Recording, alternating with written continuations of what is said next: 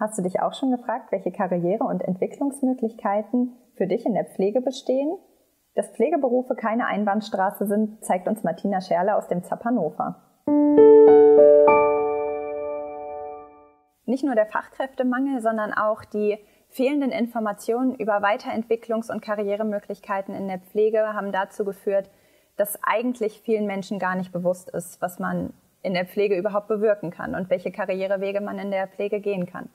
Martina, kannst du uns ein bisschen mehr dazu berichten? Ja, da kann man sehr viel zu berichten. Also ähm, erstmal äh, ist es ja so, dass der Pflegeberuf gar nicht mit der Ausbildung beginnt, sondern viele Menschen landen ja als Zweit- oder Drittberuf als zum Beispiel Helfer in Pflegeeinrichtungen im Pflegebereich und dürfen erstmal so auch schnuppern und äh, die Tätigkeit Pflege kennenlernen. Und ähm, vielen ist tatsächlich nicht bekannt, dass man sich aus der Position heraus wirklich wunderbar weiterentwickeln kann. Ähm, ich weiß nicht, zum Beispiel die Ausbildung zur Pflegefachkraft dann. Und da haben wir ja auch verschiedene Bereiche im Krankenhaus. Gesundheits- und Krankenpfleger war von früher bekannt. Jetzt kamen die neuen Ausbildungs- ähm, Wege über die Generalistik, dass es eben Pflegefachmann und Pflegefachfrau heißt. Das klingt ja schon auch tatsächlich professionell und darauf ausbauen können sich Pflegekräfte tatsächlich weiterentwickeln, ja. Das klingt gut. Das heißt, als Pflegehelfer kann ich als ungelernte Kraft erstmal schon in die Pflege einsteigen und habe dann als Pflegefachkraft zum Beispiel weitere Möglichkeiten. Aber gibt es auch noch andere Möglichkeiten als Pflegehelfer? Genau, also ähm, es gibt tatsächlich auch Einrichtungen, ähm, wo äh, für Pflegehelfer, die sagen, ich möchte mich nicht zur Fachkraft weiterbilden, die tatsächlich auch die Möglichkeit haben, je nach Unternehmen sich vielleicht intern auch ähm, zusätzlich Verantwortung zu übernehmen. Ich sage mal, wie zum Beispiel so ein äh, Hygienebeauftragter oder auf, Beauftragter für Inkontinenzversorgung, also für gewisse Schwerpunkte, ähm, also auch hausintern da vielleicht ähm, besondere Positionen übernehmen zu können, ohne gleich eine pflegerische, eine fachpflegerische Ausbildung machen zu müssen. Ähm, oder es gibt auch tatsächlich die Möglichkeit, sich ähm, als Vorstufe, um sich einfach mehr Wissen anzueignen, auch als Assistent oder Assistentin in der Pflege ähm, tatsächlich ähm, ausbilden zu lassen. Das ist dann vom Umfang her weniger. Die Pflegeassistenz als zum Beispiel die Ausbildung zum Pflegefachmann oder zur Pflegefachfrau, ähm, die ja dann wirklich über drei Jahre geht. Spannend. Und wenn wir jetzt den Weg weitergehen und ich die Ausbildung zur Pflegefachkraft abgeschlossen habe, beziehungsweise zur Pflegefachfrau, Pflegefachmann, ähm, wie könnte es da für mich weitergehen? Ganz spannend in ganz viele Richtungen tatsächlich. Also ähm, es ist immer zu empfehlen, dass derjenige erstmal ein bisschen Berufserfahrung sammelt, damit er auch in sich hineinhorchen kann ähm, tatsächlich, wo liegen denn meine, meine, wo ist meine Leidenschaft, wo sind meine Stärken, meine Potenziale, um dann äh, zu schauen, in welche Richtung möchte ich gehen. Es gibt die Möglichkeit, sich im fachlichen Bereich zum Pflegeexperten auf verschiedenen Gebieten weiterzubilden. Es gibt aber auch zum Beispiel die Möglichkeit im Bereich Organisation, da gehört sowas wie Qualitätsmanagement dazu, oder eben auch im Bereich im höchsten Fall Management, also auch Führungsaufgaben zu übernehmen, ähm, zum Beispiel als ähm, Wohnbereichsleitung oder Pflegedienstleitung, ähm, da entsprechende Weiterbildung zu machen. Das klingt wirklich nach ganz vielfältigen, unterschiedlichen fachlichen Entwicklungsmöglichkeiten. Was ist denn, wenn ich mehr in die Führungsebene gehen möchte? Was gibt es da für Möglichkeiten für mich? Da gibt es tatsächlich auch ganz viele Möglichkeiten. Ähm, das ist natürlich in der Pflege, wenn wir das Gesamte betrachten, im Krankenhaus und im Altenpflegeheim oder Pflegedienst von den Positionen her ein bisschen verschieden, aber man kann eben sagen, ob das die Stationsleitung im Krankenhaus ist oder die Wohnbereichsleitung äh, in, in, ähm, im Altenpflegeheim oder eben auch vielleicht die Bereichsleitung in einem ambulanten Pflegedienst, die für ein bestimmtes Team zuständig ist, ähm, hat man die Möglichkeit, verschiedene Weiterbildungsstufen zu durchlaufen ähm, als Pflegefachkraft, um sich zum Beispiel dann schlussendlich bis zur PDL, also Pflegemanagement, Führung in der Pflege, hochzuarbeiten. Ne? Und ähm, die Bezeichnung, wenn man jetzt sagt, welche Weiterbildung wären denn da interessant, wären dann zum Beispiel die verantwortliche Pflegefachkraft oder auch Wohnbereichsleitung.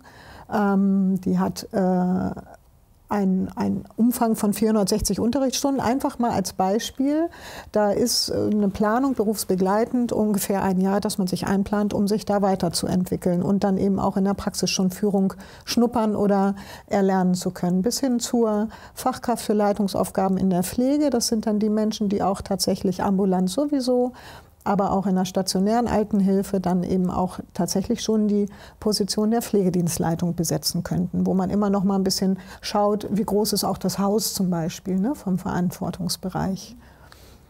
Darauf aufbauend besteht aber auch tatsächlich die Möglichkeit, das bieten auch wir bei uns im Unternehmen an, sich noch zur Heimleitung zu qualifizieren. Also wenn man sagt, ich möchte über den Bereich Pflege und Führung von Pflege hinaus ähm, habe ich ja auch noch eine betriebswirtschaftliche Verantwortung oder ähm, auch mehr vergleichbar vielleicht schon mit einer geschäftsführerischen Tätigkeit.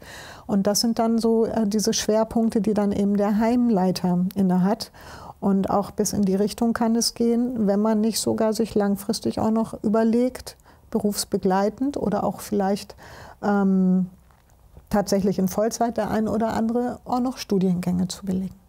Und neben dem Praxisanleiter, was gibt es da dann noch für Entwicklungsmöglichkeiten? Du hattest ja verschiedene Fachbereiche schon angesprochen. Also Pflege beinhaltet ja ganz viele Schwerpunkte. Ähm, und da haben wir zum Beispiel den Bereich der Wundversorgung. Das finden viele sehr, sehr spannend. Und äh, da kann man sich zum Beispiel zum Wundexperten oder auch darauf gibt es auch noch Aufbaumöglichkeiten weiterbilden. Ähm, der Wundexperte, ähm, da arbeiten wir vom ZAP zum Beispiel auch mit, ähm, mit der Initiative Chronische Wunden und dem TÜV Rheinland zusammen. Das ist also auch ein zertifizierter, hochanspruchsvoller Lehrgang. Ähm, und da werden dann ähm, Pflegefachkräfte zum Beispiel äh, zu Experten im Bereich Wundmanagement und können das Wissen auch mit ins Unternehmen tragen und auch an ihre Kollegen zum Beispiel weitergeben und besondere Aufgaben übernehmen. Das wäre so der Bereich Wundmanagement. Es gibt aber zum Beispiel auch aktuell ähm, auch ähm, ein wichtiges Thema, den Bereich Palliativcare. Also gerade in der Altenpflege sind wir mit dem Bereich auch natürlich Tod und Sterben ähm, betroffen. Wir begleiten die Menschen auf dem auf dem Weg, auf dem auch tatsächlich letzten Weg und das kann man wunderbar gestalten. Und Palliativcare, ähm, da ist es eben auch ähm, wichtig für die Einrichtung, dass sie entsprechende Spezialisten haben, ähm, weil das auch von der Politik gefordert wird und auch nochmal Möglichkeiten schafft. Und es hilft eben auch den Mitarbeitern, sich mit der Thematik äh, mehr auseinanderzusetzen. Und viele Pflegekräfte sind da sehr interessiert dran. Und Palliativcare-Fachkräfte ähm, sind hochwertvoll fürs Unternehmen, weil sie eben diesen Prozess auch dann begleiten oder auch mit den Kollegen zusammen gut gestalten können. Mhm. Ein anderer Bereich ist zum Beispiel auch, ähm, auch in der Altenpflege sehr wichtig, der Bereich der Gerontopsychiatrie. Ne, da haben äh, auch wir bei uns zum Beispiel äh, so, so einen Weiterbildungsgang, ähm, Fachpflegekraft in der gerontopsychiatrischen Pflege. Ähm, also für Pflegekräfte primär, was aber durchaus auch für Ergotherapeuten, weil da auch Schnittstellen sind, ähm, interessant sein kann. Denn wir haben ganz viel mit Demenz zu tun, mit Menschen gerade im Alter, ähm, die eine ganz besondere Betreuung und auch einen besonderen Bedarf an Begleitung und Betreuung haben. Und das ist für die Pflegekräfte nicht einfach und viele haben da auch großes Interesse. Und äh, auch diese Kräfte sind gerade in den Einrichtungen, wo viele demente Menschen leben, manchmal gibt es sogar geschützte oder geschlossene Bereiche, sehr wichtig und sehr wertvoll. Klingt ja wirklich so, wenn wir den Bogen wieder zum Anfang schlagen, dass Pflege gar keine Einbahnstraße ist, sondern ganz vielfältig, ganz unterschiedliche Karriere- und Entwicklungsmöglichkeiten. Aber dennoch ist es so, dass die Pflege trotzdem körperlich vielleicht herausfordernd ist, was ist denn dann, wenn ich körperlich eingeschränkt bin oder vielleicht auch nach Auszeiten durch Krankheit oder aber auch Elternzeit wieder zurück in den Pflegeberuf möchte? Zum einen ähm, ist es ja so, dass auch je nachdem, welche Grundausbildung ich habe, habe ich natürlich immer die Möglichkeit, zurück in den Pflegeberuf zu kommen. Viele Einrichtungen und vor allen Dingen auch ambulante Pflegedienste haben zum Beispiel auch für Pflegekräfte, die schon lange im Unternehmen waren oder ähm, auch Fachkräfte, sowas wie Mutti-Dienste eingerichtet, sage ich jetzt mal. Es heißt überall anders. Ne? Ursprünglich kennt man ja den Schichtdienst, alle fangen um 6 Uhr an bis mittags und das kann nicht jeder, der noch ein Familienmanagement zu betreiben hat. Und da werden schon auch Dienstkonzepte immer mehr angepasst, um auch familienfreundlicher zu sein. Ähm, und Rückkehr ist da durchaus möglich. Auch in Teilzeitstellen ähm, ist das ähm, immer, immer wieder, werden alle Türen geöffnet, weil Pflegekräfte ja auch wirklich gebraucht werden und Unternehmen mit Kusshand jemanden zurücknehmen. natürlich sagen auch viele Menschen, langfristig möchte ich nicht in der Pflege bleiben, weil das ist ja so körperlich so furchtbar anstrengend, wie du sagst.